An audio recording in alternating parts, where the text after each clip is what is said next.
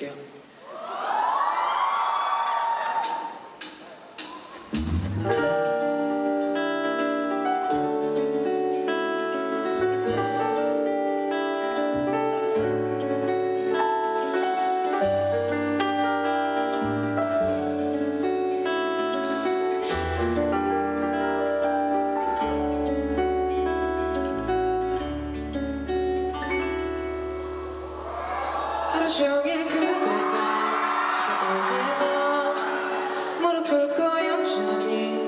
기다렸다가 초인종이 울리면 문 앞에 앉아 반갑다고 우리를 흔들 거야.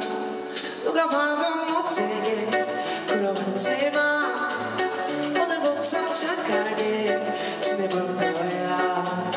다른 곳은 절대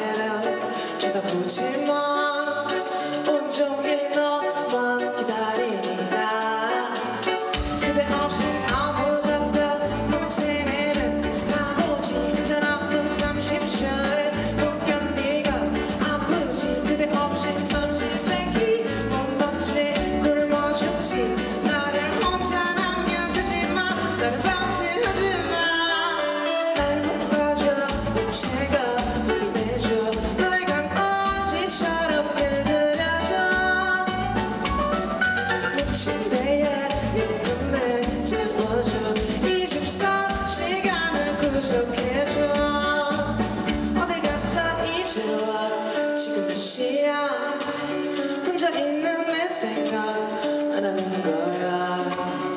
말야 옆에 있어줘.